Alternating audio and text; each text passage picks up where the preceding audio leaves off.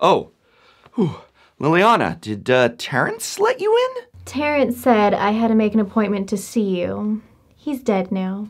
Liliana, that's the third office administrator you've killed this semester. But now I have an appointment with you. You could also just call and schedule one or email. Email is great. But email is so boring. But now Terrence is dead. Undead, technically. You turned him into a zombie. I just like to think I helped him become the zombie he was meant to be.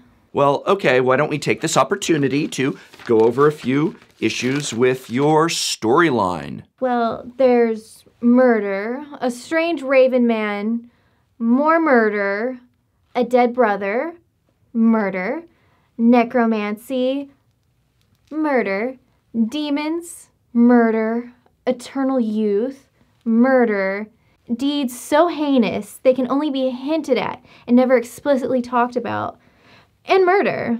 What else could a demonically youthful girl want? Well, maybe an obstacle that can't be solved by, you know, murder and necromancy. Some of my problems can be solved by demonic intervention. Yes, but then you kill the demons. Two down. And besides the point, demonic intervention is just another way of solving your problems using dark magic instead of actual story arcs. I don't know what you're talking about.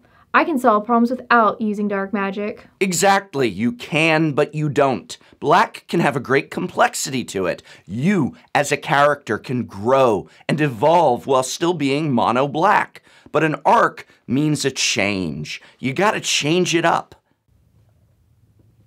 Okay, let's try a creativity exercise here. Mm, I'll tell you a problem and you give me the solution. Struggle for new ideas, new ways of dealing with things. Sure.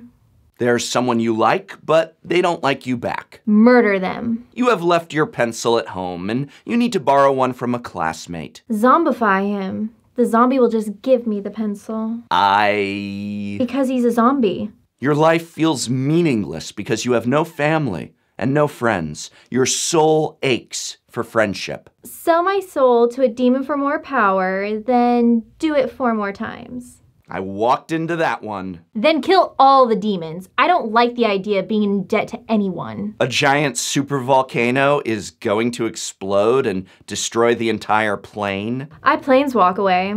The supervolcano was a metaphor for the Eldrazi.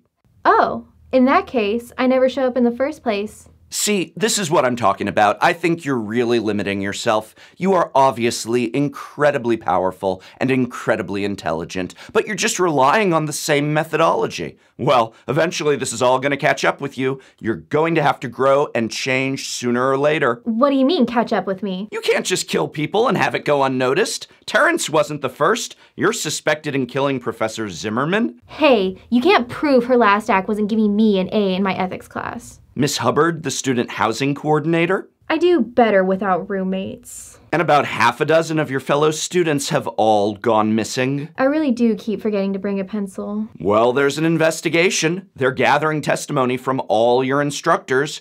You're about to be found out. What can I do to make this all just go away? I'm an immortal planeswalker with demigod like powers. You're a community college professor. If you could maybe get me off the hook, I'd be in your debt. All of my powers at your disposal forever. There is absolutely no downside to such an arrangement. Yes, yes, I, I can blame someone else, and then. And then I'll be in your debt. This is the greatest decision that I have ever made.